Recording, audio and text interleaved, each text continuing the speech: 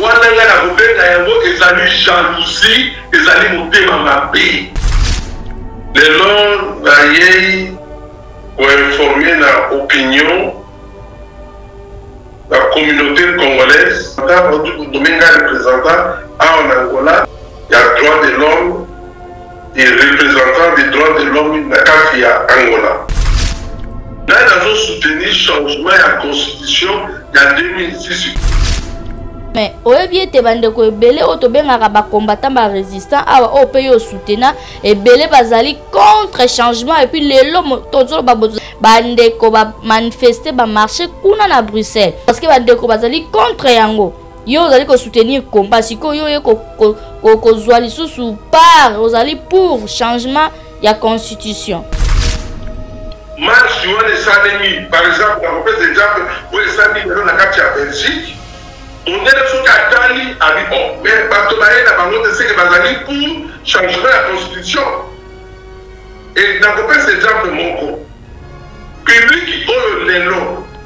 Ba musiciens bazo sala ba play oyo bazo sala ba concert.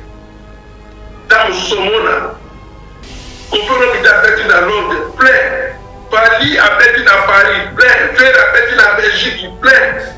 Or na combat ba plein wana etikala kosalema te. Elingi koloba ke ezali ke Petre azalaki na soif ya miziki, Petre azalaki na posa miziki ezonga. Mais peut-être ba menaces oyo bazali kosalema donc bajijaka biloko na ndenge wana meme lelo soki bato tu balo batali euh, na machaine ya youtube batali partout bamoni ke a ah, me balosaki marche ekozala bongo marche yango bato baye moke ndenge nini seke bato bazali pour changement ya constitution donc oui bato baza pour changement ya constitution parce que bayebi soki bato babimaki ebele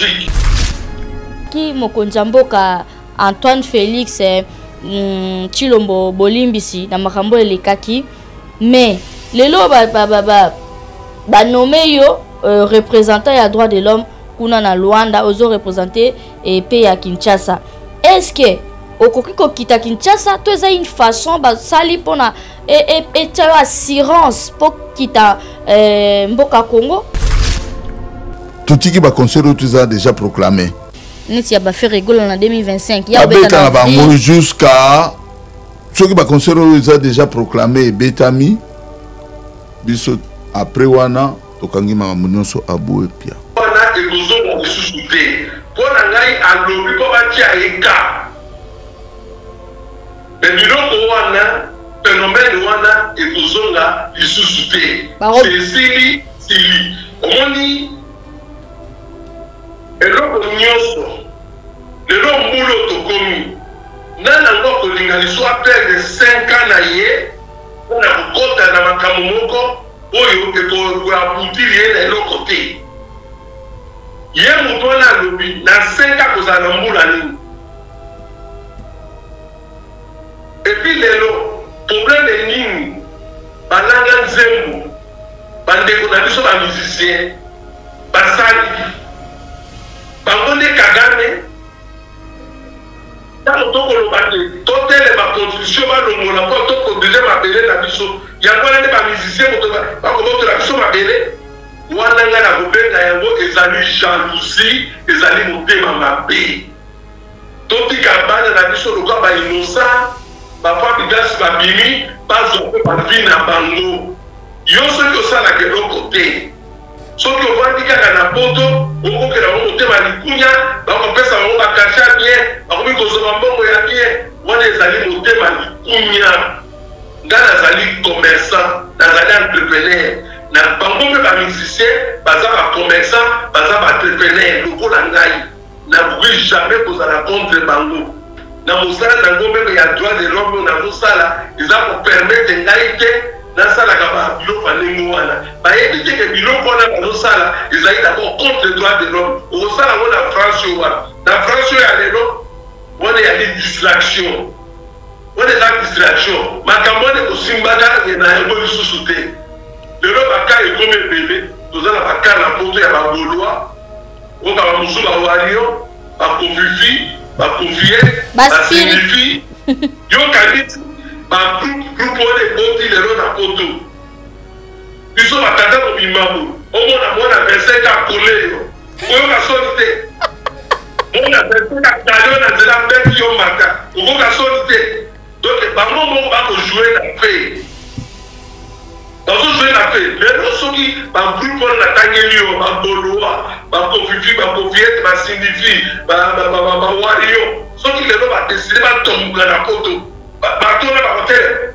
Eh, eloko moko ekosalema te nga moto na garantir yo phénomène combattant ekozongaka lisusu te abo pia parce que ngai nayambaki eh, neveu na yo na nkombo ya germain kisese alobi alingi lisusu te na nkombo ya baguillard baguillard baboyi parce que yo mpo oza aguillard te dabord nkombo wana ozotanga natikala koyoka yango jamais na vie na ngai euh. Je te dis Dieu me voit. Ah bon? Nayebi kombo na nga te, moto wana mpe otangi nayebi ye te. Omoni réseaux sociaux ezali nini? Réseaux sociaux 100% ya bato baleka na réseaux sociaux 82% ce sont des menteurs. Il y a même bato baleka télévision na Kinshasa balobi kombo na ngai tout ça nayebi bango te.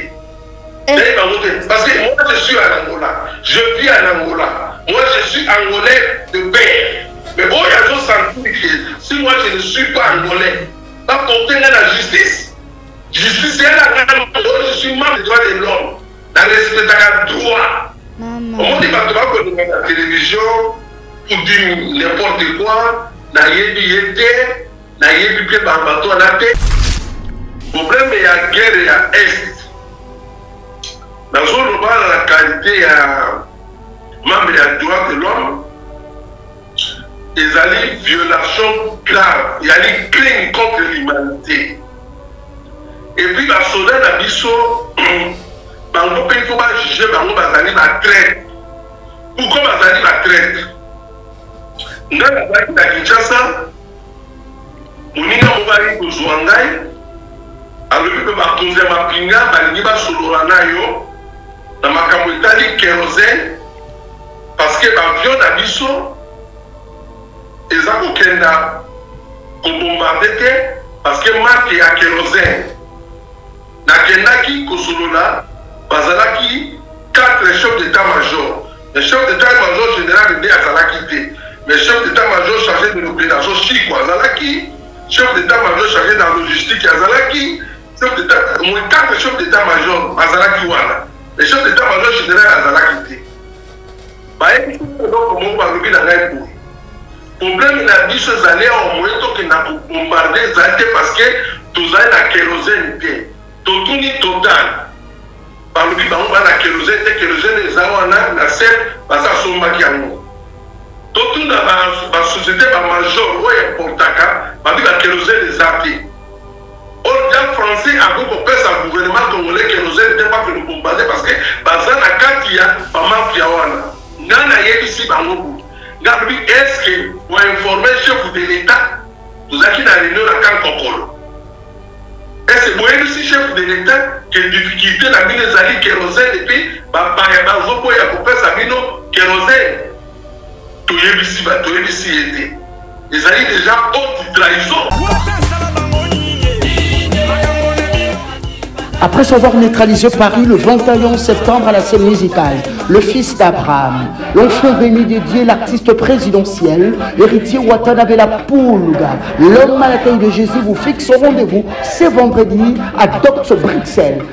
Tous les spiritas du monde entier, Bola et Bélé, écoutez la bonne musique. Vous d'acheter vos billets car les places sont limitées. Si vous voulez acheter vos billets en physique, hâtez-vous, allez vite chez Fnac, vous allez avoir vos billets en physique. Vous êtes en Allemagne, en Hollande. Vous pouvez aussi acheter vos billets en ligne sur le site Eventbrite.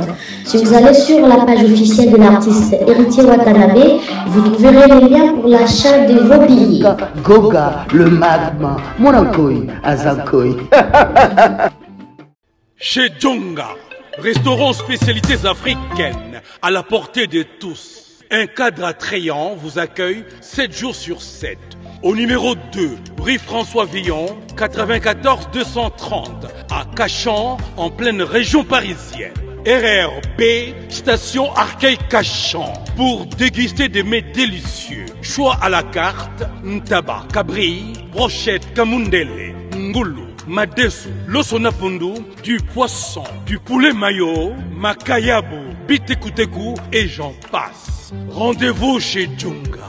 Dans une ambiance musicale, modèle Yambo Cannabiso. Chez Djunga. Venez, venez, vous allez vivre du vrai. Chez Djunga, votre restaurant vous propose des ventes des plats divers à consommer sur place ou à emporter. Oyo Sukanama Solo, commandez au 09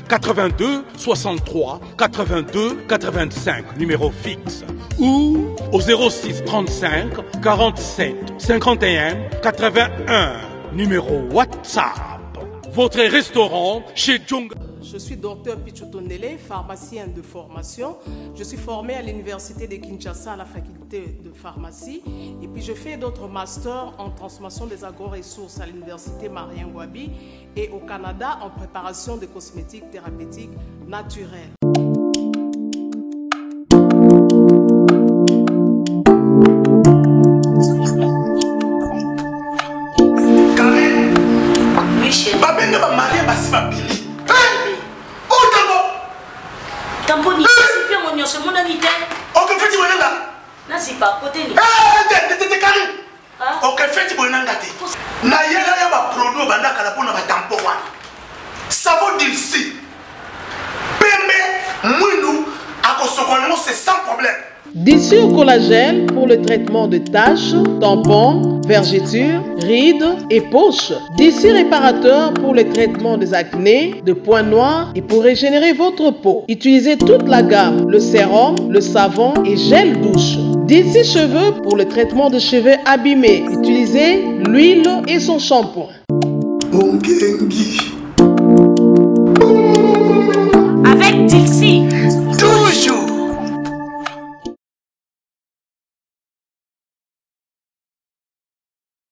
Bienvenue sur Elengi ya Congo, c'est toujours la vôtre Glody Diasuka, la mignonne de la presse. Eh, oyo eza annonce na ngai.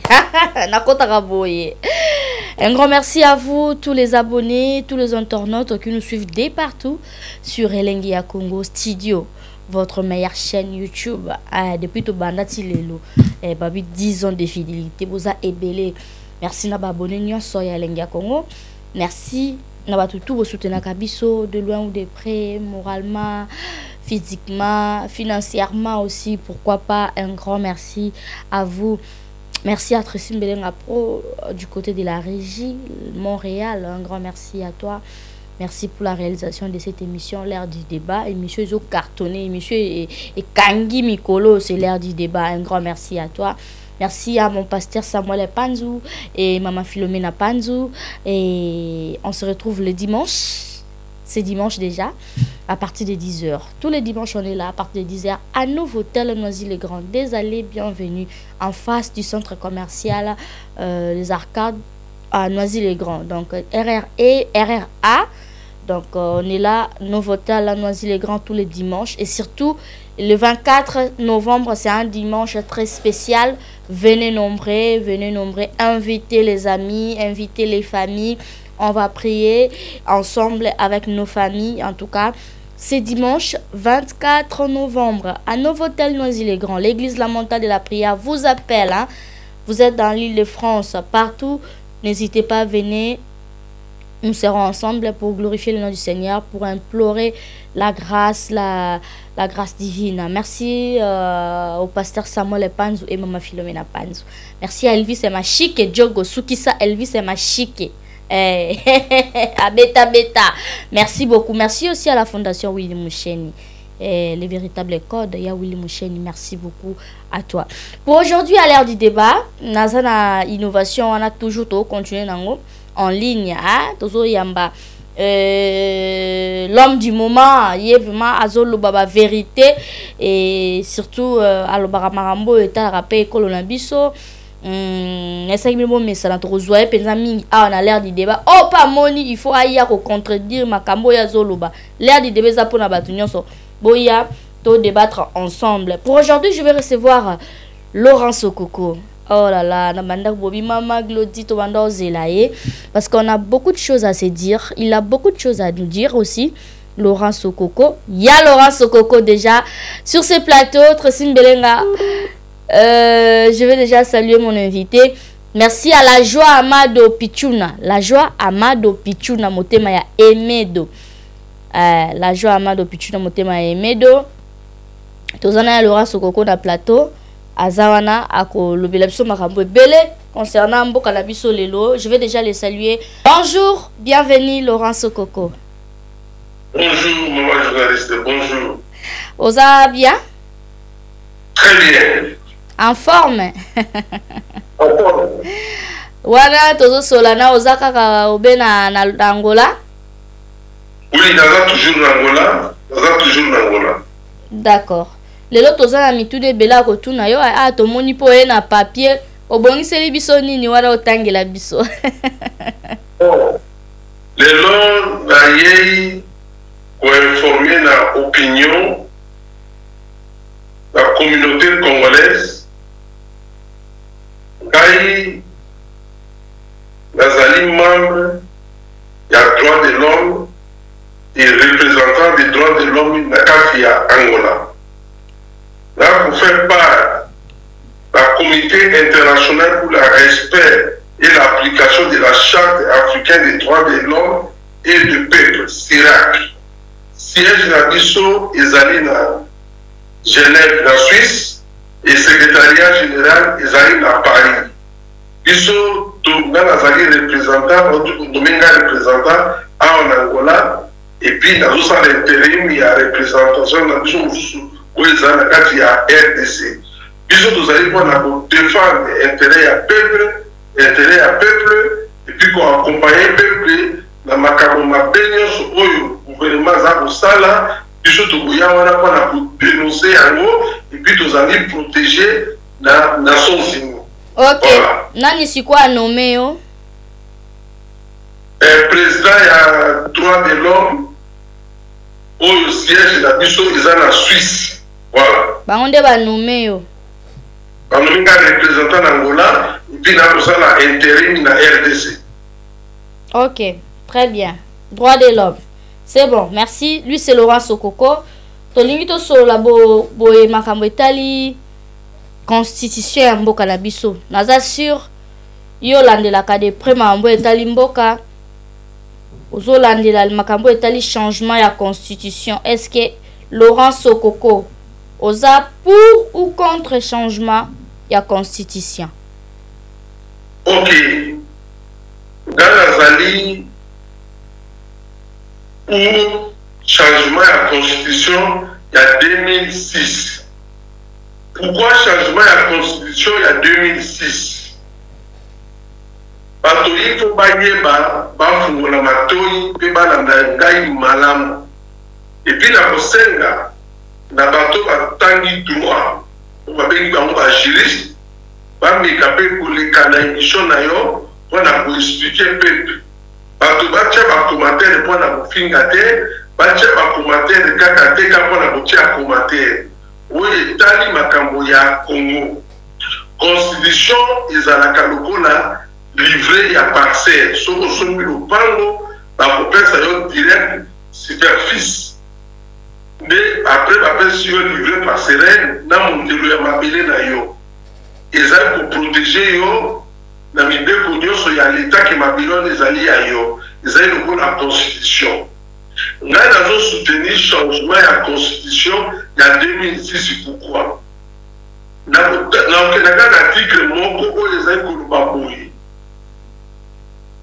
ba pays voisins nionso ya republique democratique du congo bazali na droit ya kozwa eteni ya mabele ya congo pe Congo ekosala bango eloko te parce que ezali prevu na kati ya constitution yango nozo mona o Zambie abotoli mabele o Angola azui parti ya mabele o Sud Soudan akoti azua o Ouganda akoti azui Rwanda akoti azui parce que nyoso tout wana ezali prevu na kati ya constitution nalandaki mokonzi ya mboka ya Republiki Demokratiki di Kongo, Antoine Tshilombo Tshisekedi akendeki komona Museveni epuis batuni ye alobi te akotala na annee prochaine akosala commission po batala makambo ya constitution. Soki tokeyi na droit international na charte africain president aussi a viole constitution ya mboka. Comment a viole constitution ya mboka? na pouvoir oyo ye aza na ngo akoki ko permettre te tozila annee prochaine pona ko proteger mabele parce que ye azali lokola mokonzi oyo azali kokengela territoire mobimba ya republique ya Congo na mabele ya Congo lokola amonaki deja constitution ya 2006 ezali na mbeba ezali condition ya 2006 eza ko viole ba droit international charte africaine ye akoki kozua decision ya kokweyisa constitution wana sans que a consulte parlement sans que a consulte batu aza na pouvoir wana pona kobatela mabele wana et tango constitution wana ekokweya babengaka yango boye ako cree acte moko fondamental na acte fondamental wana ekozala provisoire. Provisoire ya ndenge nini? Bakokamata mibako vote mibeko moko mpo ba eh, legalize acte fondamental wana. Bakoloba par exemple makambo ekokufela bayi politiki ya Congo, ba opposition na pouvoir bazoloba ah, soki ye alobi achange constitution esi ye akocontinue kaka akopesa su candidature te Parce que na acte fondamental oyo bakopona, bako voter yango na kati ya assemblee oyo ye ako proposer yango, bakotia ba dispositions nionso. Soki President asali mandat na ye ekoki, alongwi, ekoyebana na acte constitutionnel. fondamentale sauf bakosala ba mibeko nionso bako voter yango na acte fondamental et puis mokonzi ya mboka ako signer yango ebimi na journal officiel yango moto ekokamba siko mboka na temps wana en attendant bazoluka basala constitution ya sika Sikoyo tango bakoluka basala constitution ya sika il faut ba referer na constitution ya kala. Bako referer na constitution oyo ya 2006 te, bako referer na constitution oyo ya 1964. Bato basalaki yango banani? Bazali ba juristes congolais lokola ba docteur Liao, ba docteur Etienne Tshisekedi. Ba docteurs ya droit Thomas Kanza ba ba docteurs na bango tout basalaki constitution ya 64 nde bakozwa constitution na ya 64 bakotala oyo bakomodifie bamodifie oyo bakobakisa babakisi nde batie constitution wana mpo esekirize bana ya mboka na mabele na bango ya congo me constitution ya 2006 ezali koviole badroit international charte africaine eza koviole meme Droit ya Congo ya Republique democratique du Congo or President de la Republique comme un garant de la nation akoki ko permettre jamais a travailler na constitution wana il faut akwesa yango et puis ba creer acte fondamental oyo ekokumba provisoirement mboka en attendant basala constitution ya sika ok donc yango wana ozali pour baraison opesi biso yango wana Eh yango wana nazali pour bato il faut bayeba eloko moko likambo ya constitution ezali kopesa te ke president kaka apesa candidature te ntango bato baya kotala kote wana nde ezali kobimisa mobulu na kati ya mboka nde ezobimisa mobulu na kati ya mboka parce que ah, ye akocontinue ezo te a partir ya acte fondamental oyo parlement ako prouver yango nde ba decision nionso ekozala na kati soki akopesa candidature tokoyeba yango mokolo wana na acte fondamental bako prouver yango soki mpe akopesa te tokoyeba yango na acte fondamental mais constitution oyo ya 2006 yango nde ezo permettre ba rwandais bakangama na mabele ya republiki demokratiki di congo parce que ezali prevu na constitution ezo permettre mpe na ba zambien ba kata pe mabele parce que eza prevu na constitution ozui constitution e tombe basali acte fondamental president akozala sikoyo na pouvoir na gouvernement ya ko accuse Rwanda auprès des Nations Unies que baza ko violer mabele territoire ya République démocratique du Congo or constitution ya 2006 oyo ezopesa bango pouvoir ya kozwa ndambo ya mabele ya Congo ezopesa ba pays voisins nyonso pouvoir wana Yango wana, à partir ya acte constitutionnel, eko permettre na President mpo na kofunda ba voisins oyo bako toucher mabele ya Congo. Yango wana ngai nazali pour ya changement ya constitution oyo ya 2006. Ok merci beaucoup Laurent Sokoko eh, na likanisi oyo kokabola na biso mais oyebi ete bandeko ebele oyo tobengaka ba combattant ba résistant awa oyo mpe yo soutena ebele bazali contre changement epuis lelo tozoloba bo tozali le 2 novembre bandeko ba manifeste ba marche kuna na bruxelles ntango yo tokoyoka yo soki okolobaka no yo ozali pour eh, changement ya constitution moi te ozoya kokɔta susu na na mobulu lisusu parce que bandeko bazali contre yango yo ozali kosoutenir combat sikoyo yo oye kozwa lisusu part ozali pour changement ya constitution ok merci beaucoup maman journaliste Ngai nalobi nazali pour changement ya constitution oyo ya 2006 pourquoi le meme constitution oyo ya 2006 yango moko eza ko violer bonsomi ya mboka na biso ya Republique democratique du Congo. Oui c'est vrai ba ndeko combattants ba manifester omoni na makambo nionso batalaka voix majoritaire est ce que marche wana bango basali Est-ce que majorite ya batu ba bimaki po ba loba que toza mecontent ou minorite? Ndenge na landi bango minorite ba bimaki mais majorite ba bimaki te. Pourquoi majorite ba bimaki te? Nalingi na yebisa bango eloko moko boye, tango ba kosala acte constitutionnel, acte, acte, acte fondamental ezali te que kaka ba deputes moto ba kozala te. bakopona tango mosusu 100 deputes bawuti na majorite, 100 bawuti na opposition, na societe civile bazwi tango mosusu 100 bawuti na diaspora europeenne, bazwi 100 bawuti na diaspora africain, 100 bawuti na societe civile.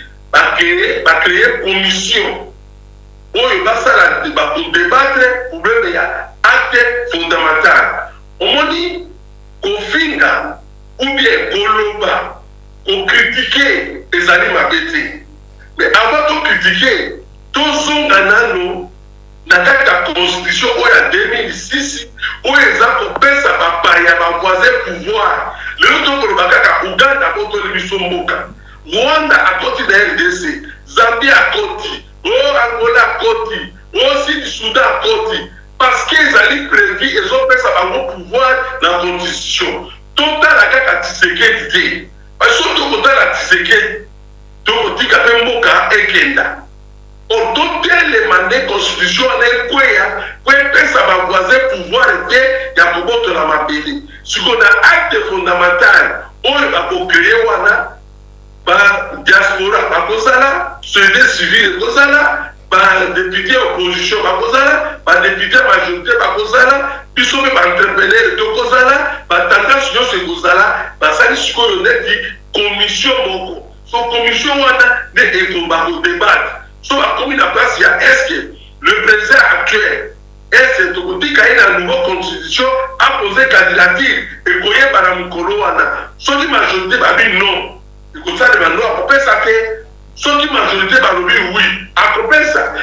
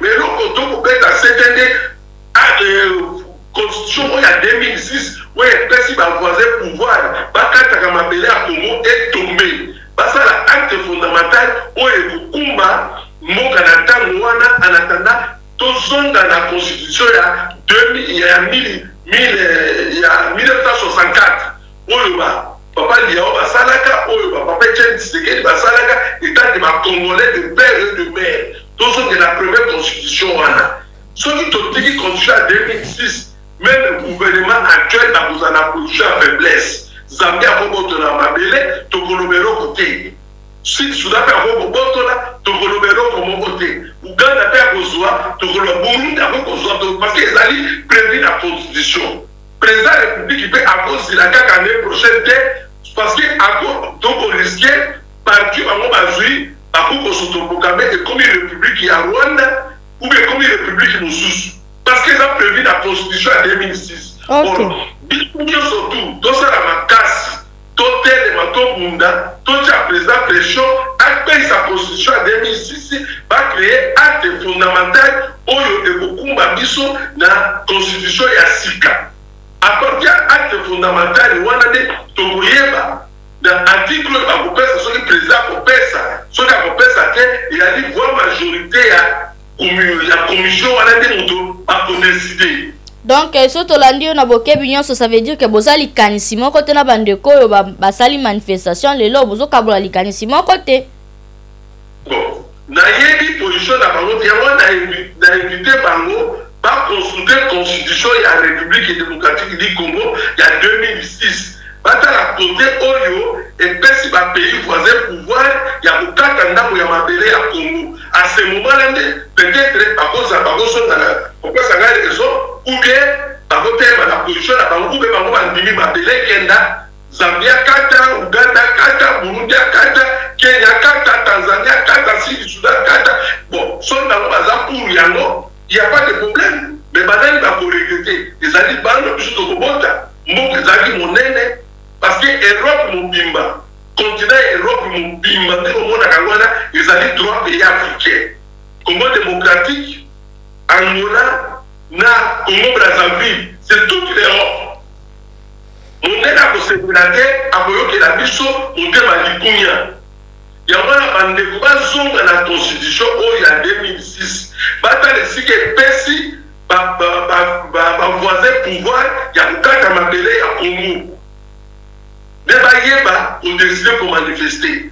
Mais ngai nakosenga na bango to soutenir constitution wana ekweya avant decembre et puis ba cree acte fondamental oyo eko kumba biso en attendant to revoir constitution oyo ya 1964 oyo ba docteur congolais ba salaki.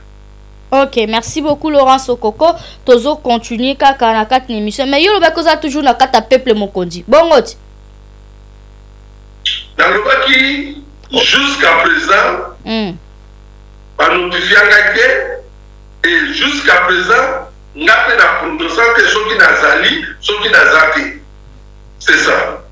Ok mais ba ndeko no pe ya peuple mokonzi ebele ba soutenir manifestation wana. Yango na nalobi te eloko nyonso tosalaka il faut toyeba yango parce que soki ngai par exemple nga moko par exemple soki naza na problème na président de la république nakotia yango na constitution te C'est ça le problème il faut que to yebaka oko zala problème na ministre congolais moko okoki ko tia yango na constitution te biso nioso tout toza meme moral mais lokola constitution wana ezali ko violer ba droit ya mboka ya ko kaba mabele ya mboka Il faut biso nde to soutenir constitution ya 2006 est tombe parce que yango nde epesi ba rwandais force epesi ba ougandais force epesi ba zambien force epesi ba sud soudan force po bakata kataka mabele na biso parce que ezali prevu na constitution voir meme constitution ya 2006 ezali ko violer chaque africain est ce que angola akoki ko accepter babotola ndambo mabele na ye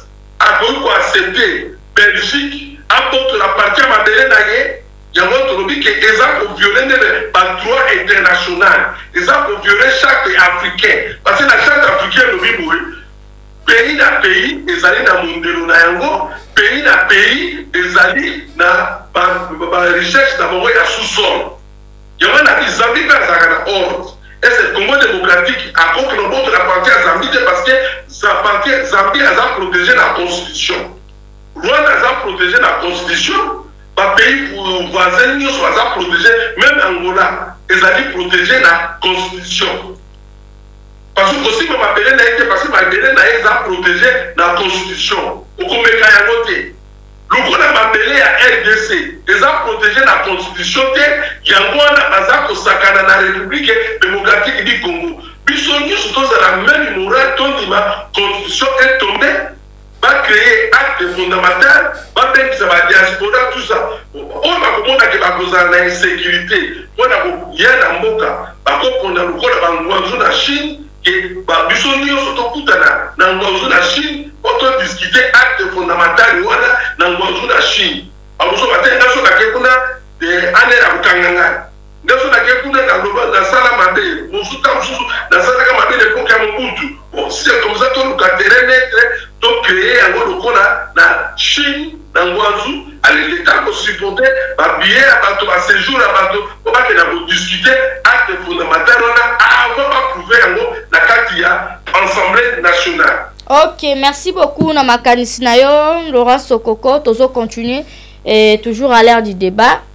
Wana ezalaki makanisi ya Laurent Sokoko na makambo etali constitution ya mboka, changement ya constitution ya mboka. Voilà, wana partage na biso makanisi na ye bandeko mpe nyonso bozolanda biso soki oza mpe na likanisi moko olingi koloba concernant oyo ndeko Laurent Sokoko azali koloba okoya na l'air du débat tokoyamba yo tokolekisa yo d'accord oza toujours na biso Laurent Sokoko Oui, je suis toujours à D'accord, merci beaucoup, on continue. sikoyo lelo otali quand même eh, ba bilili ba image ya, ya, ya, ya manifestation ya bandeko oyo bamanifeste lelo tolongoli nano makambo oyo etali constitution tozongi sikoyo na makambo etali combat quand même okoki koencourage bango basali échec ou bazwi réussite par rapport ya événement na bango ya lelo ya le 2 novembre kuna na bruxelles bon omoni ndenge nautaki koloba na debut awa ezala meme na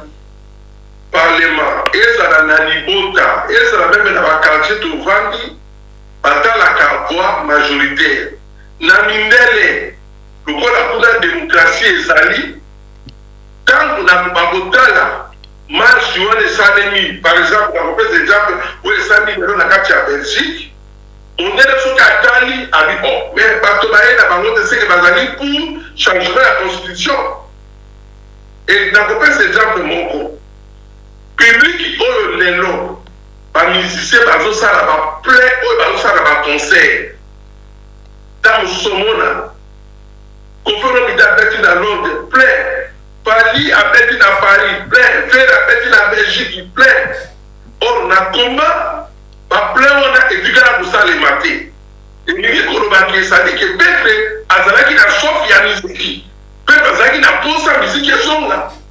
Mais peut-etre ba menaces oyo bazali kosalema. Donc ba jugeaka biloko na ndenge wana. Meme lelo soki bato tout baloba batali euh, na ma chaîne ya YouTube, batali partout, bamoni ke ah mais banosaki match ekozala bongo match yango bato baye moke ndenge nini seke bato bazali pour changement ya constitution donc oui bato baza pour changement ya constitution Parce que bayebi bango soki bato babimaki ebele a ah, gouvernement mpe akoki kozwa bamesure ya bi a ah, seke bato baboyi changement ya constitution. Donc mpo na yo lelo s'il vous plaît mpo na yo s'il vous plaît lelo mpo na yo eh, ndenge omoni wana bato wana babimi na bango ebele te hein? te bato babimi ebele te par rapport na communauté congolaise ndenge bazalaka na belgique bato babimi te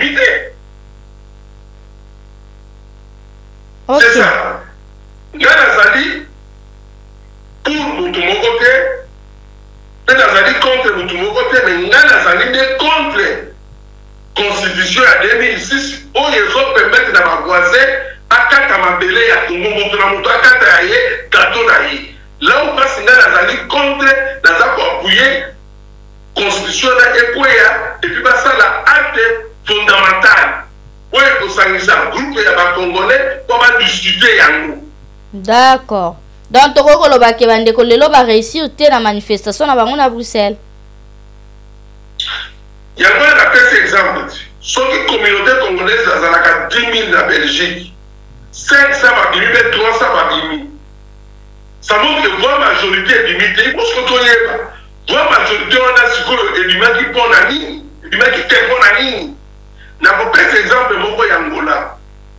Depuis Angola ezala Angola, ba imposaki constitution ndenge ba imposer constitution ya 2006. Nani moto a imposer constitution ya Angola? Ezali premier ministre ya Portugal Salazar. Ti Angola azwi independance, constitution wana ba imposaki bango ezo continuer. Boye bandeki koloba ke Angolais soki abotami libanda aza Angolais te.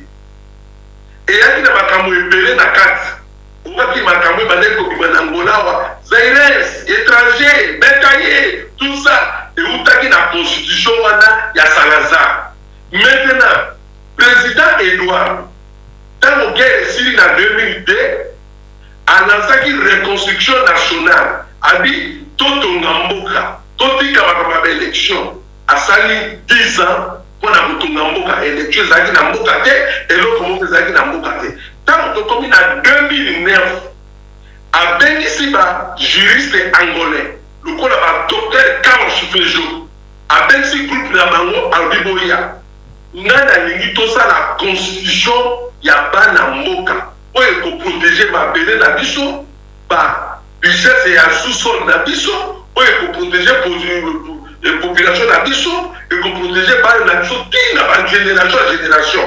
Baye ko creer constitution oyo na simbi yango na maboko na ngai awa, ba creaki yango na mois de fevrier, ba creer yango na mois de fevrier et je crois ba creer yango le 5 fevrier 2010. Na 2010 awa ezo pesa president mandat te ya deux mandats. eza ko protege mabele ya Angola mupaya akoki kokata yango te menace ekozala mabele ya Angola te wana constitution ya Angola constitution simbi eza ya Angola constitution na simbi eza ya Angola na pesi yango comme titre d'exemple okay biloko ya ngola minere petrole nyonso tu ezali ya angola okay. Ezali pe ko proteger ba entrepreneurs angolais. Ça dit que mopaya, indien, libanais akozala liboso ya angolais te.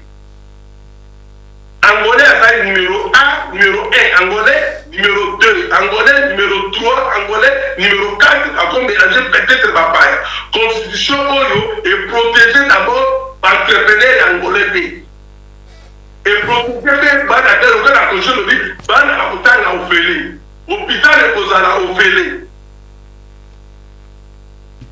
ba autoriser manifestation pe ezali ok et parti politique okoki kovanda te o napesi candidature na nga comme indépendant non napesi candidature na nga comme indépendant non il faut parti na yo parti na yo epona yo parti na yo epongi yo na congrès balobi yo nde moto okozala candidat na biso na election presidentielle parce que ezali prevu na constitution voilà merci beaucoup laurent sokoko tozozonga mwa moke nsima na makambo oyo etali eh, eh, représentation na yo ya, ya makambo oyo etali eh, droit de l'homme sikoyo yo osengaki mokonzi ya mboka antoine félix eh, Hum tshilombo bolimbisi na makambo elekaki mais lelo ba ba ba ba, ba nomme yo euh, representant ya droit de l'homme kuna na Luanda ozo representer eh, pe ya Kinshasa est ce que okoki kokita Kinshasa to eza une façon basali mpona etia yo assurance mpo kita eh, mboka Congo D'abord, nomination na ngai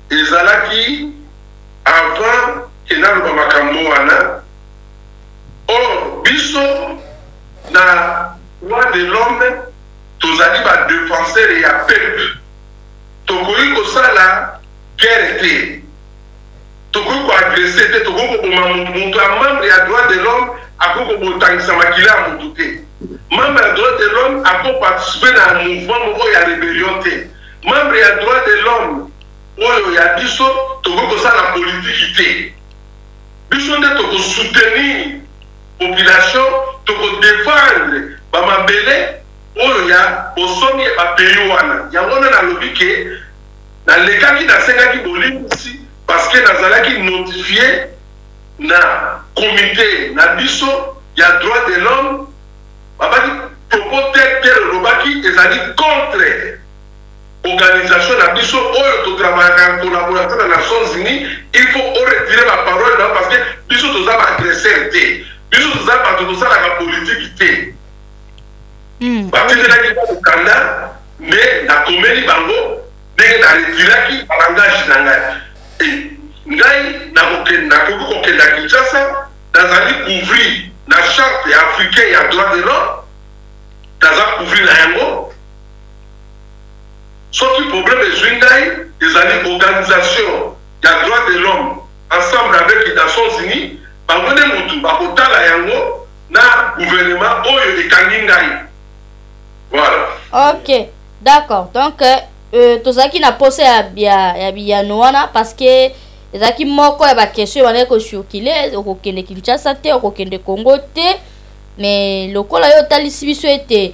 makambo oyo olobaki ezalaki bongo te esekelaki olobaki mpo ozali moko ya, ya, ya, ya barepresentant ya droit de l'homme yango wana fale totuna yo oyo éclaircir biso bongo mpo tomona yango mpe mpa ba floribert shebeya ye mpe ezalaki kama mwa badroit de l'homme oyo me ntina oyebi histoire wana te nayebi yango malamu ah ozo okoki ko se référer mpe na histoire wana d'accord yango okomi histoire oyo babomaki collègue na ngai chebe ya république démocratique du congo yamoni ke bajohn numbi bazali na plainte na niveau ya cpi bato bafundi bango ezali nani ezali droit de l'homme bafundi bango na cpi il faut bakenda ko justifier raison pour laquelle que bazo monana te baza kobatama batama batama parce que babomaki moto ya droit de l'homme biso tozali awa mpo na kodenonce ezali meme awa na ngola soki namoni mabe na ngola awa nakodenonce nakobomba te nakoproduise gouvernement angolais te nakoleka na etando ike na yo nakoloba ke awa bakonyokola population Nakendaka na ba squada lokola na ba cachot ya oyo ya ba quartier akomaka na bi bofungola naza na droit na visite nalakisi carte na ngai bafungoli natuni du moto bakangi ye bakobeta yo te condition nini ozolala ese ozolia nakomi mpo nasala rapport na ngai ekende na Genève ou na secretariat general na biso ya France nakendaka na prison centrale nakomi nakoti namoni na ba prisonnier Condition nini bovandaka awa est ce que osukolaka bien est ce que condition bolalaka bien na polo nioso tout bakopesa ngai na kosala yango na tindi yango na secretariat generale na France ba traite yango soki soda azobeta mutu na ko interpele soda na bi pourquoi obetaki mutu na kokomela ministre ya interieur wana yali viol violation contre droit de l'homme moto ata asali mabe Okokanga ye na limemia nyonso, na dignite nyonso ya moto, etant que moto, otie ye na motuka, o conduire ye esika oyo ba zuzi bazali po basambisa ye. Oza na droit ya kobeta ye te, oza na droit ya kosala arrestation arbitraire te, ya kokanga moto kaka okuti moto bokangi ye, ezali contre droit de l'homme. Ba biloko wana nyonso tout biso nde to combattaka yango, to defendaka yango. Soki gouvernement.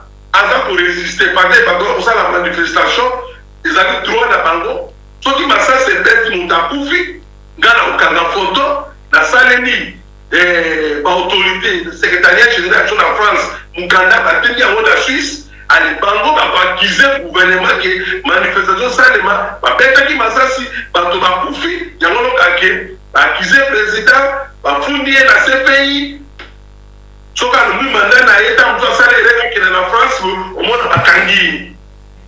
Bato basalaka mosala wana ezali biso. Nakokende esika na kosambisa moto nakei na tribunale navandi soki injustice ezali ngai na ko interpelle procureur nabi na participaki na jugement wana mais jugement wana esalemi bien te naza ko agir etant que representant ya droit de l'homme il faut bozongela jugement wana. et mutu wana kotia ye na prison aza na sante ya malamu te il faut ko proteger ye il faut kotia ye na hopital azwaka ba traitement eyali ba misalo biso batiaka biso ba representant na ba mboka po tolandaka biloko wana yoso tu bongo wana president atuti mutu na kofunda ye et droit de l'homme ekotinda procès na ye na tribunal international na CPI omona soki akomi na mboka moko ya ya Europe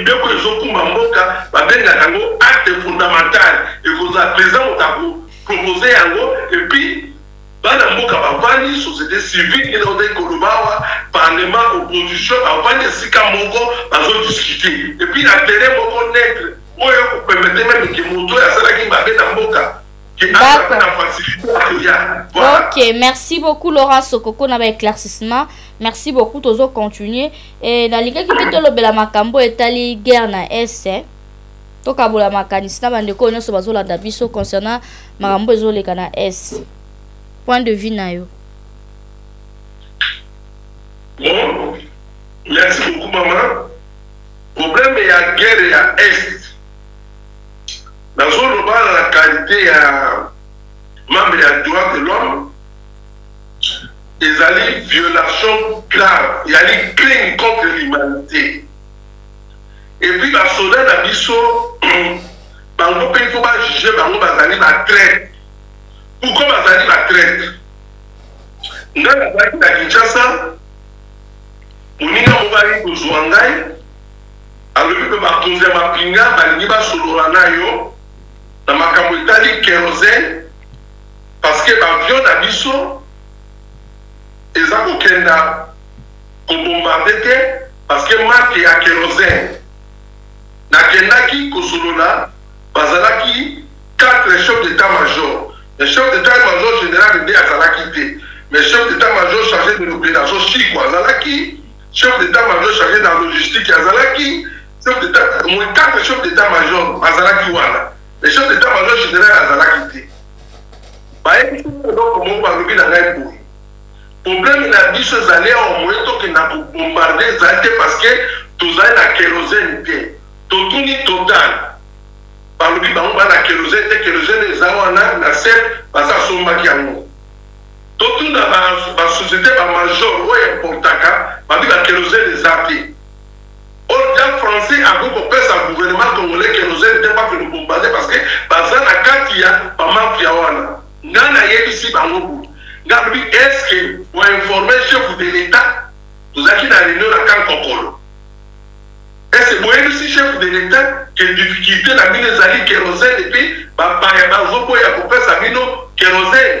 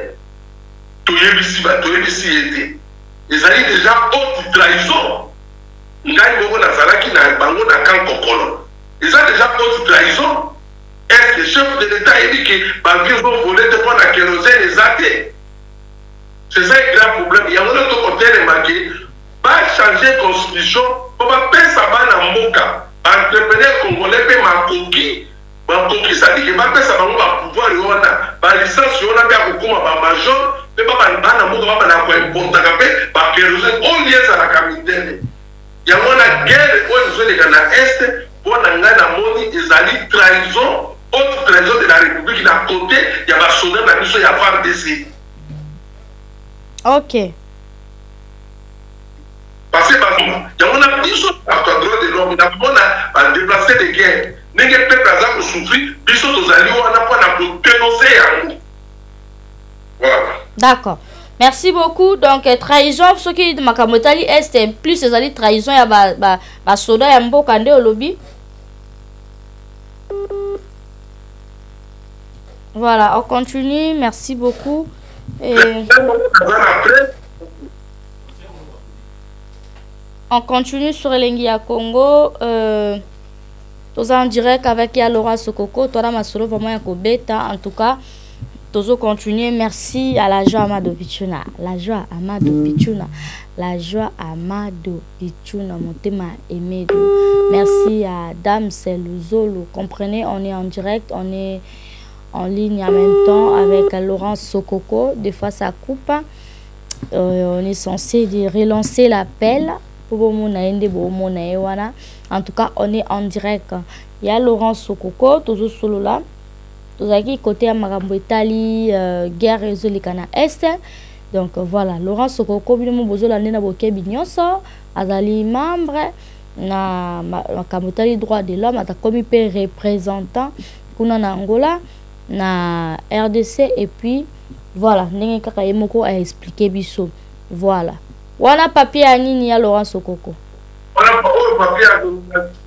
Papier ya nomination na nga. Ah ouais, na photo na yo eh, tomoni papier ya nomination. Ouais. Voilà, wana bozo mona papier ya nomination ya Laurent Sokoko. Obligé na peut-être simbele nga pro, c'est bon. Donc euh, voilà, très bien, tomoni yango na bokebi nyonso. Nomination na yo étant que représentant. Très bien. Ya droit de l'homme kati ya République de l'Angola. Angola. Et puis olobi pena ya Congo ti.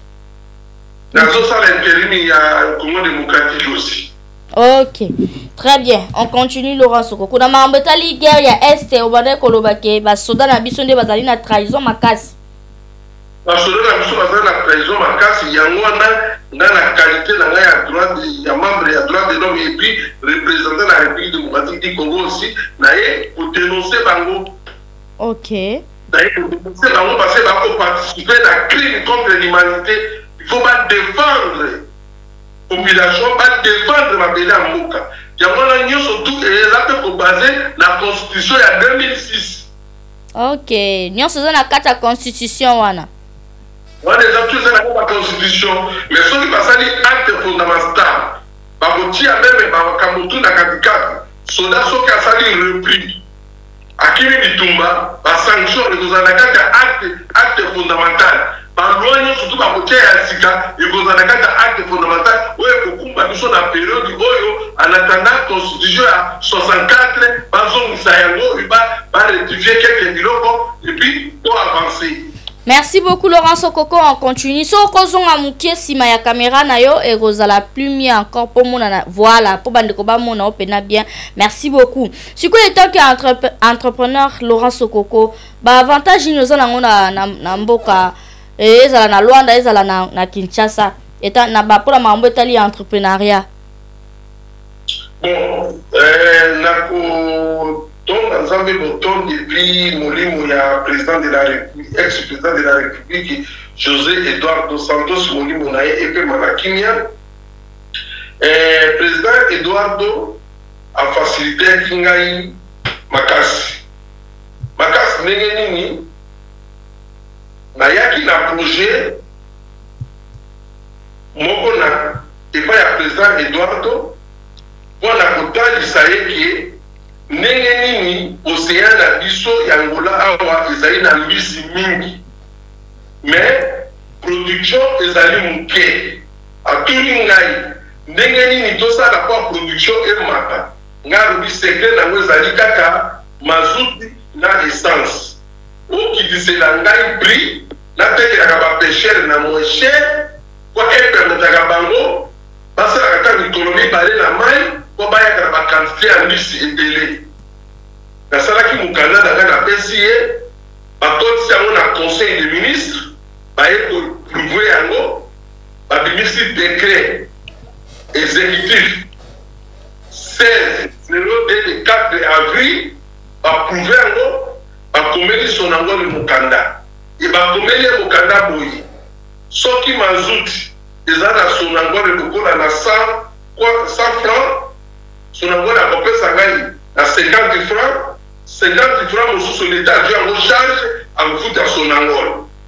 Ngai sikoyo nako teka prix moko te na ba station ngai nako tekela sikoyo ba association ya ba pecheur na nako tia kaka dix kwanza likolo na naye dix kwanza bako somba lokola na 60 franc to tia kaka na franc lokola 60 franc or na station ezo teka mata mosusu na 150 franc mais ngai nako tekela bango na 60 franc ezo permettre sikoyo na ba pecheur ba somba mazuta 5 bidon Kwa sala ata mikolo mibale ntango akobima aye na ba tonnes ebele ya mbisi.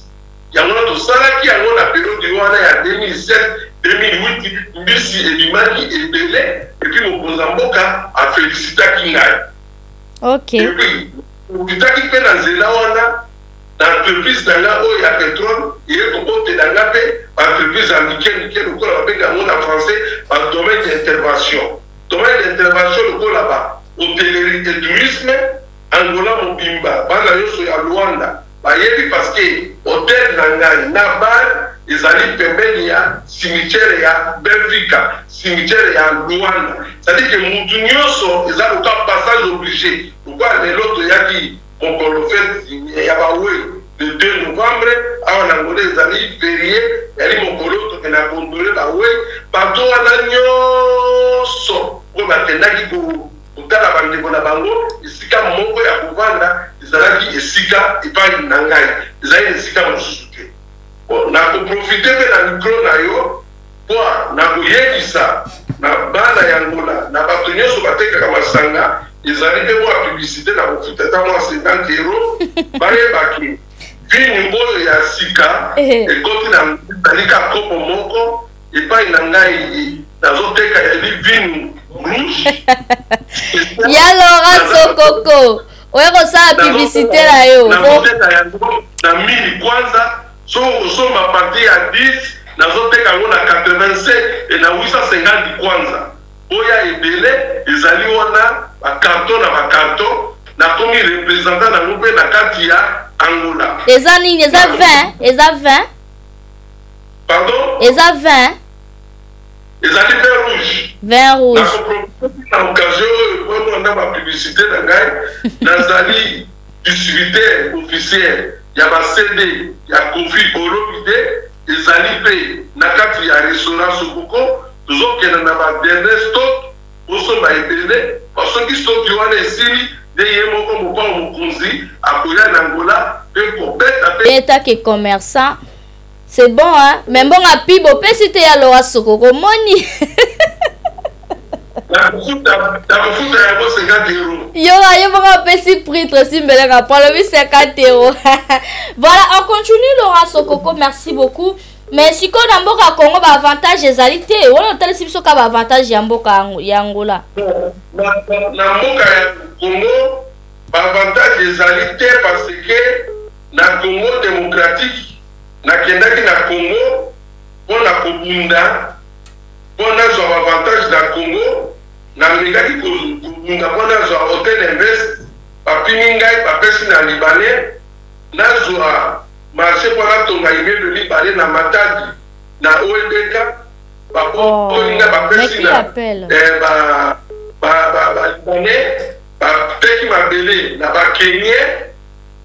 ba avantage nioso na keyi na se po na koma major ba boyi ba bi kaka yaya eloko ya ba francais na na ba belge nde bango mutu baza ba grand major na congo na bundaki po na zua opportunite na congo na zui ba opportunite na congo te biloko nioso ba pesi yango na ba paya naza pe na baninga na ngai oyo tosalaka na bango mosala moko na entreprenariat bango pe bazali ko souffrir lokola claude maluma ye azui misolo na ye asombi ba anti incendie po na ko fournir republique mobimba ya Congo a fournir yango ekoma na place ba pesa ye misolo na ye oyo akotisaki Jules Alingeti oyo azali chef ya igf alobi na kopesa yo misolo te Jules Alingeti wana aza ko faciliter kaka ba indiens na ba libanais biso bana mboka Jules Alingeti alingi biso te. Moi en tant que membre ya droit de l'homme ba benga yango crime contre l'humanite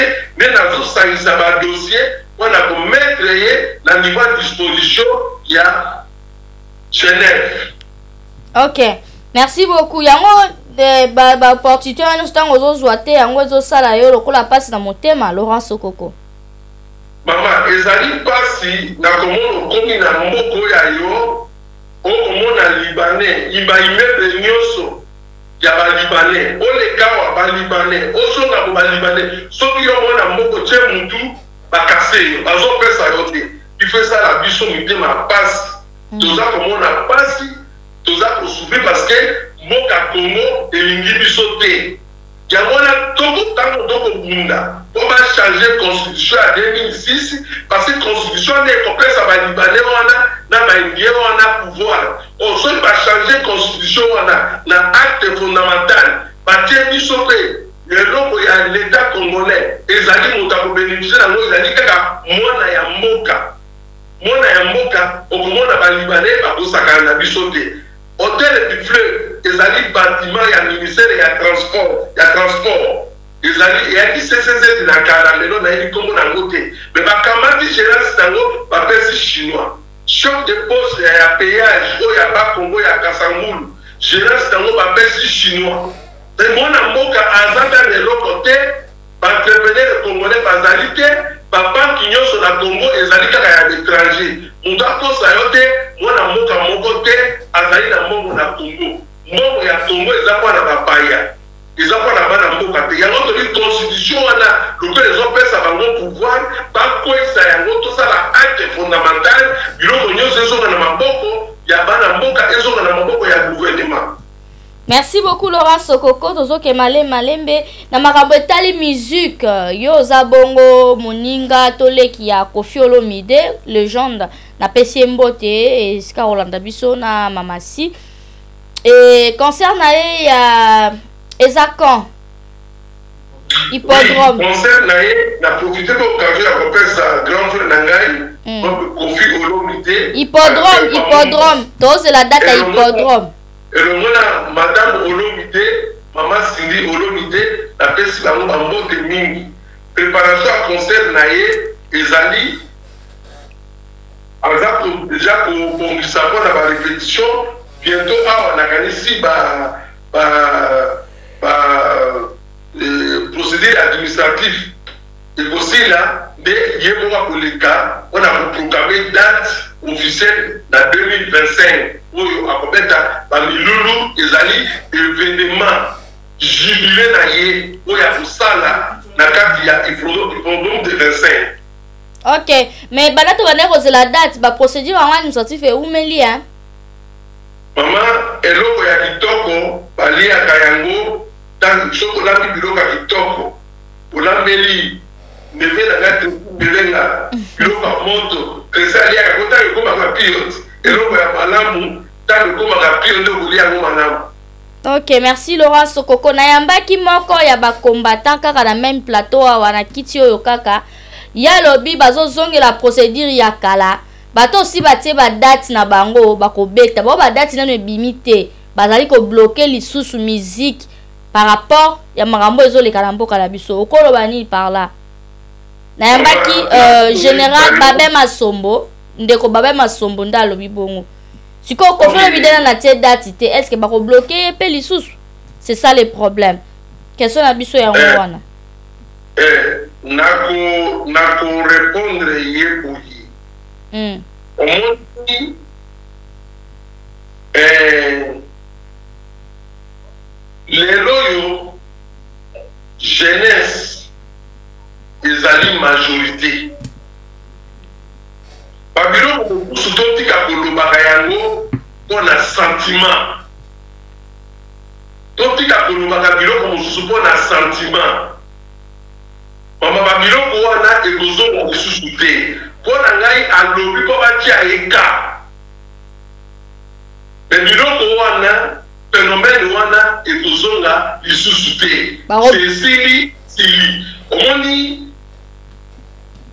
eloko nyonso lelo mbulo tokomi nani yango akolinga liso aperde 5 ans na ye mpo na kokota na makambo moko oyo ekoabutir ye na eloko te ye moto wana alobi na 5 akozala na mbula nini Et puis lelo probleme nini balanga nzembo ba ndeko na biso ba musiciens basali bango nde kagame tango to koloba te totelema constitution balongola mpo to produire mabele na biso yango wana nde ba musiciens moto bakobotola biso mabele wana ngai nakobenga yango ezali jalousie ezali motema mabe Totika bana na biso lokola ba innocent ba fois bidasi ba bimi ba zwa pe ba vie na bango yo soki osalaka eloko te soki ovandi kaka na poto okokela bango motema likunya bako pesa bango ba cache ya bien bakomi kozwa ba mbongo ya bien wana ezali motema likunya nga nazali commerçant nazali entrepreneur na bango pe ba musicien baza ba commerçant baza ba entrepreneur lokola ngai Nakoki jamais kozala contre bango.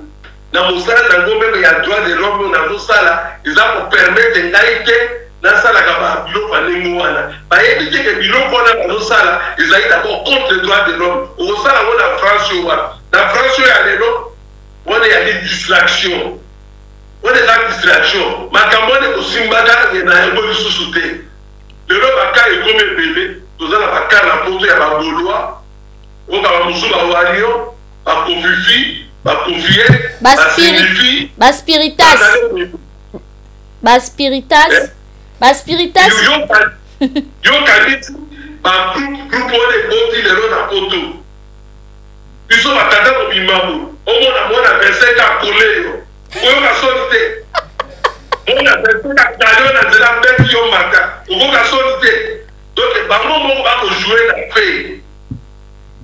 Bazo swenga pe lelo soki ba groupe wana na tangeli yo ba golois ba kofifi ba kofiette ba cindifi ba ba wario soki lelo ba decide ba tomboka na poto bato wana bako telema? Batika biloko wana makambo ya soni totala nde na ba mbula oyo tokomi na yango totala nde biloko ya constitution oyo tobunda oyo constitution eza kopesa nzela ba botela biso mabele tosala nde debat ya constitution ngai na fungoli debat oyo tu akoleka batika makambo na ba combattant parce que ngai naza kuna te ngai naza membre ya droit de l'homme ba biloko na bango na ngai na cote te moto na moto akozwa litomba na ye tokotisitaka na bana na biso ya mike te oyo babotami lelo babimi bagolois basidifi bakofiete bakofifi tusa toki lokundaka na bango Ezali mpo na kolongola soni na nzoto eh, eloko moko ekosalema te nga moto na garantir yo phenomène de combattant ekozongaka lisusu te abo pia merci beaucoup ya laurence sokoko nalingi tosilisa boye te naza na motuna moko soki natuni te bandeko bakomona nga injuste donc nakozala juste te epuis nakozala hypocrite parce que ngai nayambaki eh, neveu na yo na nkombo ya germain kisese Alobi alingi lisusu te na kombo ya ba guillard. Ba guillard baboyi parce que yo poza a guillard te. Laurent Sokoko, naza sur na yebi te soki omonaki to oyokaki mais ngai na informe yo na yambaki Germain Kisese etant que ton neveu. Deja oyebisa biso soki oyebi ye et puis message oyo yayelaki biso au nom de tous les aguillards soki okoki koloba nini par là Laurent Sokoko. D'abord kombo wana ozo tanga na tikala koyoka yango jamais na vie na ngai. Euh! Je te dis Dieu me voit. Ah bon? Na yebi kombo wana te. Moto wana pe otangi na yebi ye te. Omoni reseaux sociaux ezali nini? Reseaux sociaux 100% ya bato baleka na reseaux sociaux 82% ce sont des menteurs. Il y a meme bato baleka television na Kinshasa. Balobi kombo na ngai tout ça nayebi bango te. Eh. Nayebi bango te parce que moi je suis en Angola, je vis en Angola. Moi je suis angolais de père. Mais oyo azo sentir que si moi je ne suis pas angolais, ba porter ngai na justice. Justice ya la ngai je suis membre de droit de l'homme. Na respectaka droit. Maman. Omoni bato bakolinga na télévision pour dire n'importe quoi, nayebi ye te, nayebi mpe bato wana te.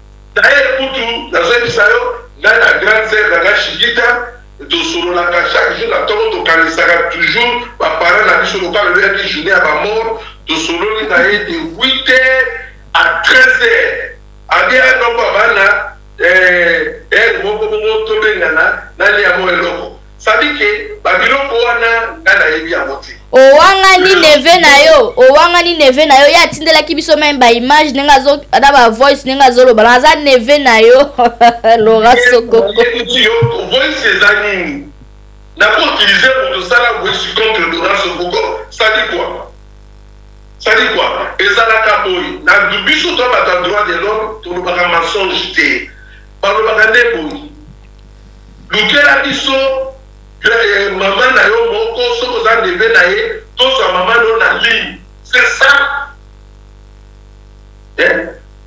yo dabord yo moi soki oza neveu nakokotela biloko wana te parce que ce sont des mensonges na babiloko wana ngai nakokotela yango te Nga na loba nga naza membre ya droit de l'homme ba teyaka biso tosalaka ba cours par correspondant po to lobaka bosembo verite na lakisi yo oyo ndeto tango na salaki erreur po na fatshi ba komeli nga rectifier kokota bote sala bote droit de l'homme atambolaka bosesa makambo nioso to ezali en dehors ya droit de l'homme ngai na kotaka na ngo te na kotaka na ngo ata muke te Nazali representant legal ya droit de l'homme na kati ya Angola.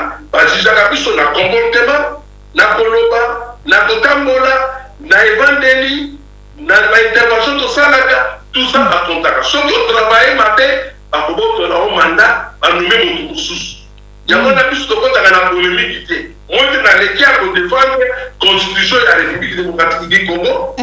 Naleki ko défendre ba musiciens ndenge wana aleki alobi te eh, kombe elingi ezonga tout ça na bi ekozonga te nga naza défenseur ya droit de l'homme il faut na défendre mpe ba musiciens ezali droit na bango ya kosala ba spectacle international cetadi que polémique ezali interdit na kati ya droit de l'homme polémique Polemique eza interdit na kati ya droit de l'homme. Nakoki ko repondre eloko ya polemique te parce que na mosala, na grade oyo bapesi nga, nazali lokola ambassadeur lokola te nazali ambassadeur ya droit de l'homme na kati ya Angola. Ça dit que nakoki kokota na polemique jamais. So na ndenge nga koloba ngo boye, droit de l'homme bakolanda ngai, bakosala ba correction, oyo nalobi mabe bayebisa nga parti oyo olobi mabe, il fallait oloba boye.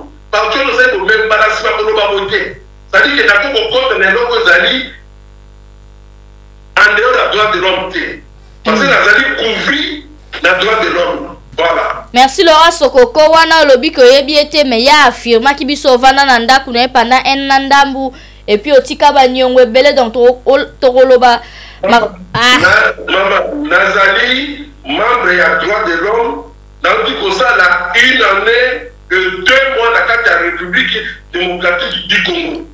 Nasali ba emissions ebele na ba Marche Bosch, na ba Bobette Mboyo, nasali ba emissions ebele. Nasalaki mpe campagne ya chef de l'Etat na ba Pierre Boule, ba nini, tout ça. Okay. Nasali une annee et deux mois na kati ya Republique democratique du Congo.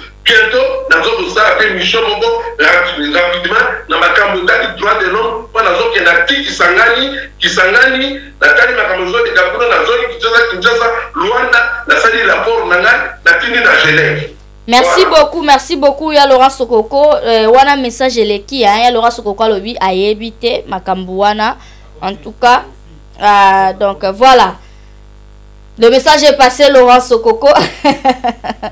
Tokomi na biso kosilisa émission oyo. nayebi te soki ozalaki na likambo ya kobakisa ya lora sokoko na oyo totuni te na oyo tolobeli te epuis message nini okoki kopesa na bacongolais nyonso oyo bazolanda biso de partout bon message oyo nakopesa na bacongolais kaka moko biso nyonso Tozala delier to soutenir constitution oyo ya 2006 ekweya ba cree acte fondamental oyo ekokumba mboka na periode oyo ya ya transition ya pe pas transition mais na periode oyo en attendant ba revoir constitution ya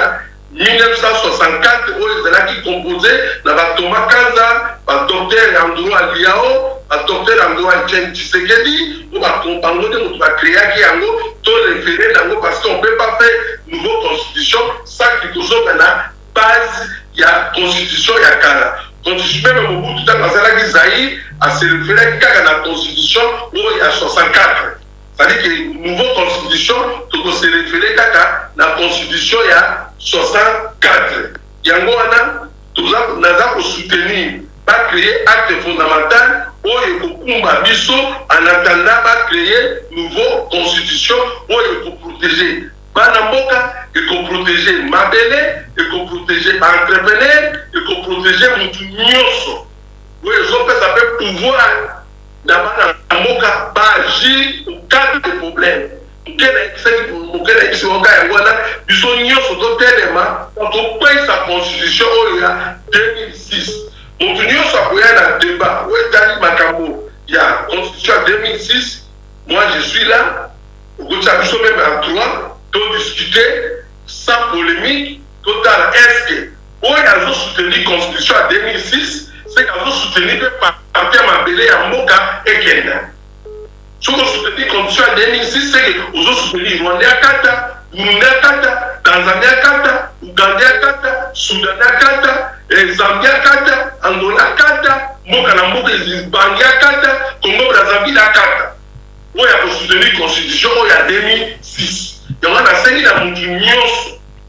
To ouvrir debat to tia ba parlementaires pression bango ba tia mokonzi ya mboka pression a pesa constitution ya 2006 to creer acte fondamental ba ko benga meme ba diaspora tout ba ko zala biso tout pe ba entrepreneurs to ko zala po to discuter eh, acte fondamental wana po ba prouver ngo na assemblée en attendant constitution ya 2064 ba revoir yango Ok, merci beaucoup ya Laurent Sokoko, tokomi na suka. Merci na intervention na yo. Merci na bande nyonso bolandi biso. Okoki kopesa mbote hein, Laurent Sokoko. Mbote na ngai nakopesa kaka na mon grand frère propre. Olombi te. Un peu kamumba.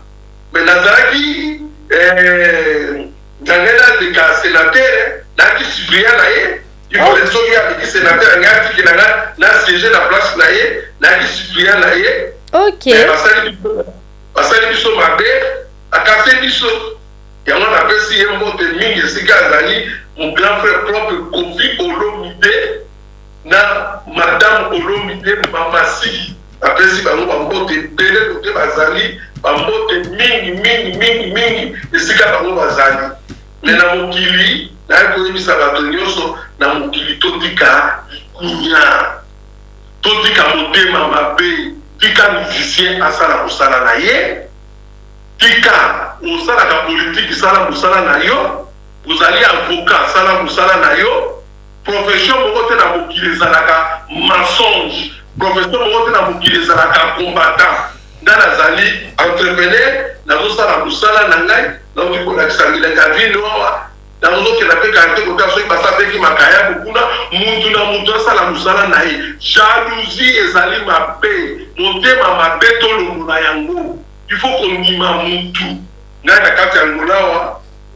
Naza na orchestre na ngai, naza na station na ngai, bana ya Angola nionso bayebi eh, totikaka nde jalousie, moninga azui sepela ezali malamu, tika ba musiciens ba regner, eza musala na bango, ezali profession na bango, totia bango kimia, balongolaka biso ba stress. totika bilobaloba ezali mabe merci beaucoup napesi moto tu nyonso mbote totala makambo ya constitution ya 2006 Merci beaucoup, ya Laura Sokoko. On se retrouve prochainement na numéro Mususu. En tout cas, Laura Sokoko azawa na pour quoi intervenir toujours à l'ère du débat. Yo po moni que ba propos Laura Sokoko et convaincre yo te yo peyaka to debattre ensemble hein? merci merci beaucoup na bino nyonso bolandi biso tomonani bongo na mikolo ezoya merci à la joie amado pichuna merci motema ya emedo la joie amado pichuna motema ya emedo mm. injure injure ezali arme ya bafaible injure kotoba ezali arme ya bafaible mm. deba nde yango nde tosali nde yango nde makambo Totika moto na kosala mosala na ye. Ba bureau ba perjure te. Yaka ngai na oya ngai papier yango na lakisi representant ya droit de l'homme. Nazali entrepreneur, directeur general ya entreprise Sokoko. Entreprise Sokoko na entreprise privee de droit angolais. Yo pe soki oza n'oyo ya yo leka awa debat.